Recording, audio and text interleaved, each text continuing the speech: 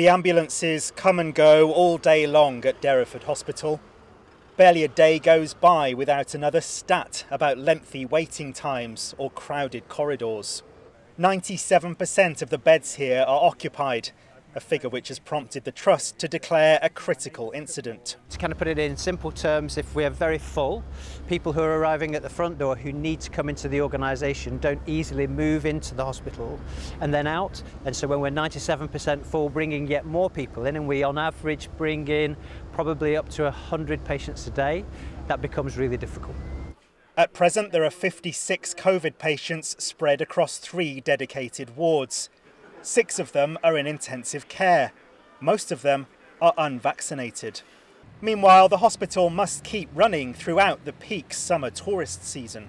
What was interesting in the first and second wave was that we switched off services to enable us to be able to deal with the COVID epidemic as it was. That position has changed now because we also recognise that it's so important to continue to deliver care to patients who have other conditions.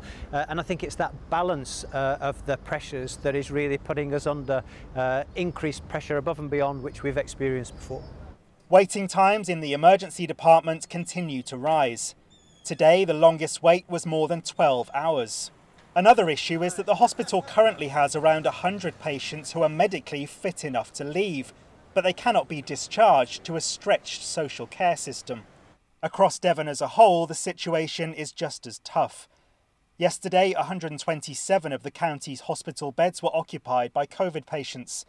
14 of those were in intensive care.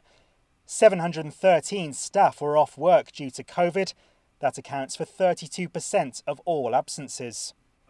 Tony Gravett from the local Health Watch group, which represents patients' views, says the situation is becoming unsustainable. We have seen this in previous years um, with periods where the hospitals have been put under pressure, but I think this feels more unprecedented and it's almost like it's winter every day.